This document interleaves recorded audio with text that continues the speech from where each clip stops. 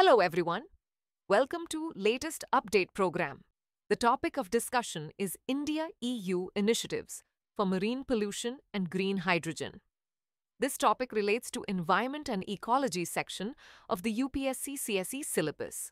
Recently, India and the European Union EU have launched two major research initiatives under the India EU Trade and Technology Council. These initiatives are backed by a combined investment of 391 crore rupees, approximately 41 million euros. The initiative aims to develop innovative, sustainable solutions to tackle global environmental challenges. Before moving further, an important announcement.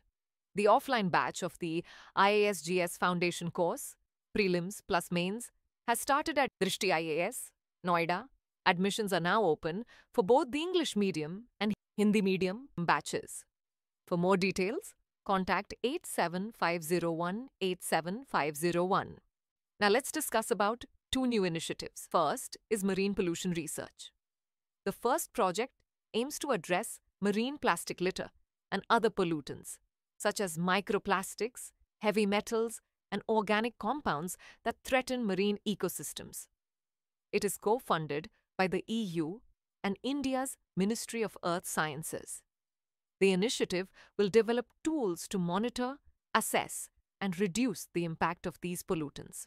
It aligns with global goals, including the UN Decade of Ocean Science for Sustainable Development and national policies such as India's National Marine Litter Policy and the EU's Zero Pollution Action Plan. And second is green hydrogen production from waste. The second initiative focuses on the production of green hydrogen from biogenic waste. It is supported by the EU and India's Ministry of New and Renewable Energy.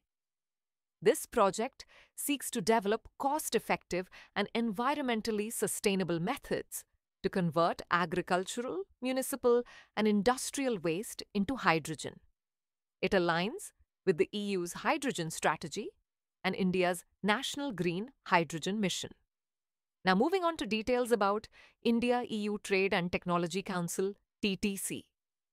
The formation of the TTC was announced by the Indian Prime Minister and President of the European Commission in 2022. It aims to create a high level coordination platform to tackle strategic challenges at the nexus of trade, trusted technology, and security. The TTC consists of three working groups WGs, WG on strategic technologies, digital governance, and digital connectivity, WG on green and clean energy technologies, WG on trade, investment, and resilient value chains. Now is the time for practice question. Which of the following statements regarding green hydrogen production from waste is correct? 1. The initiative aims to develop sustainable methods to convert waste into hydrogen. 2. The project is part of the EU's hydrogen strategy and India's National Green Hydrogen Mission. 3. It focuses on converting industrial waste into clean energy through solar power.